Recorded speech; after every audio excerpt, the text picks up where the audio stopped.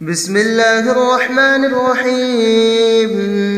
عن أبي أيوب الأنصاري رضي الله تعالى عنه أن رسول الله صلى الله عليه وسلم قال من صام رمضان ثم أتبعه ستا من شوال كان كصيام الدهر.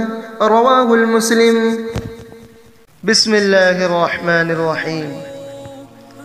صحیح مسلم کی حدیث ہے کہ حضرت ایوب انصاری رضی اللہ تعالی عنہ سے روایت ہے کہ رسول صلی اللہ علیہ وسلم نے فرمایا کہ جس نے ماہ رمضان کے روزے رکھے، اس کے بعد ماہ شوال میں چھ نفلی روزے رکھے، تو اس کا یہ عمل ہمیشہ روزہ رکھنے کے برابر ہوگا۔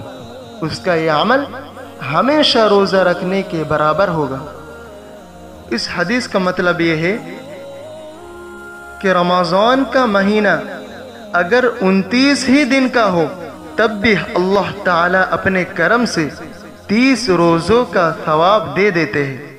اور شوال کے چھ نفلی روزے شامل کرنے کے بعد روزوں کی تعداد چھتیس ہو جاتی ہے۔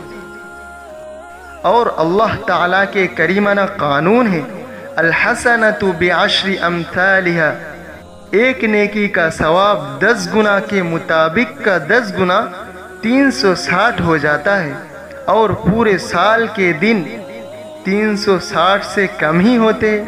بس جس نے پورے رمضان مبارک کے روزے رکھنے کے بعد، پورے رمضان مبارک کے روزہ رکھنے کے بعد، شوال میں چھ نفلی روزے رکھے۔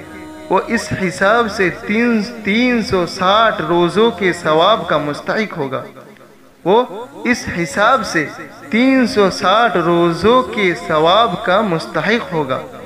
پس اجر و ثواب کے لحاظ سے یہ ایسا ہی ہوا جیسے کوئی بندہ سال کے تین سو ساٹھ دن برابر روزے رکھے۔